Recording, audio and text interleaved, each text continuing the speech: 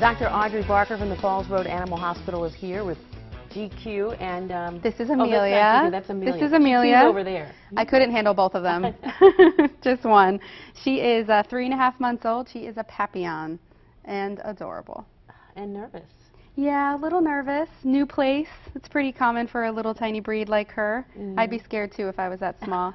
but she's doing very, very well. Okay. All right. Let's get to our questions. Okay. Trisha asks, how can you stop an American Eskimo dog from lunging at a cat? All right. Um, I would say that given that it's a dog's nature in some cases to go after small prey, um, I would not trust that any sort of training um, is going to guarantee that a dog will not ever, you know, attack a cat. Um, in this particular case, I think um, going to a trainer is beneficial. Having a, a trainer come to the home is beneficial. However, I would always say be safe, keep the dog on a leash at all times, and don't let them interact because that could be quite bad. All right.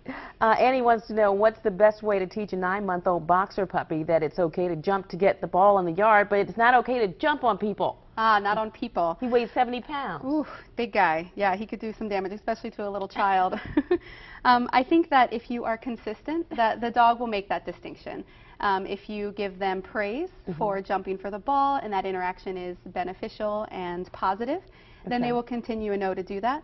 Versus the jumping on a human, if you tell them no and then disengage so that they don't, no longer have that positive feedback, they will understand the difference. All right. Okay. Be how consistent. How much does Amelia weigh? Uh, hmm. Tiny. seven pounds Oh, or wow. so, maybe six, two pounds. Two pounds? We have mom Mama over here, two and a half pounds. She's got a lot of fluff. Yeah. Whew, you are a big one, huh? Look at that tail. She's All right. so little. Thanks for coming in. You're very welcome. Thank you.